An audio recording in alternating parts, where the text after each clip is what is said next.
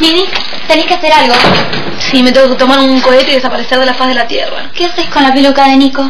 La estoy lavando para enterrarla para siempre. No, no, Nicolás tiene que volver para despedirse de Tomás. Quedó mal con todo. No, ya sé, ya sé que quedó mal con todo el mundo. Me duele en el corazón después de todas las cosas buenas que hizo Nico, pero... Entonces ya está. No, no voy a volver, no puedo volver, vi que ya se fue, desapareció, ya está. Pero aunque sea solamente para que Nicolás le explique al embajador por qué se fue. ¿Qué le voy a explicar? Más mentiras, vi que no. Si yo voy a hablar con el embajador, voy con la peluca en una mano y con la verdad en la otra. Ni se te ocurra contar la verdad justo ahora no. Por favor, ¿por qué justo ahora? Vos sabés que Sebastián me está tirando onda y me encantaría que pase algo con él.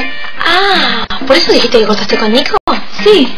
¿Qué está mal? ¿Que no, tengo derecho a ser feliz con quien se me dé la gana? No, sí, tenés derecho, pero bueno, por eso, ¿qué tiene que ver? Una cosa es tu historia con Sebastián y otra cosa es que yo diga la verdad sobre Nicolás. Que tiene que ver, porque si Sebastián se entera de que yo fui tu cómplice todo este tiempo no me va a querer ver nunca más. Bueno, Vicky, yo te entiendo, pero tengo que hacerme cargo de que soy una mentirosa, no puedo aguantar más. Una mentirosa y una gran egoísta, eso es lo que sos. ¿Por qué me decís eso? No soy egoísta, entendeme. Estoy harta de que todo gira alrededor tuyo, de Nicolás, del pelado, y por una vez, solamente una vez que te pido que hagas algo para mí, me decís que no, me la pasé tapando asuntos tuyos. Pero no te quiero decir que no, lo que pasa es que no quiero seguir mintiendo, entendeme, ponete en mi lugar. Me cansé. Me cansé de estar siempre en el rincón y que no me dejes ni siquiera acercarme al ring.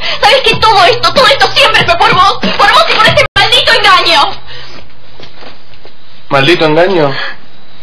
¿De qué engaño están hablando?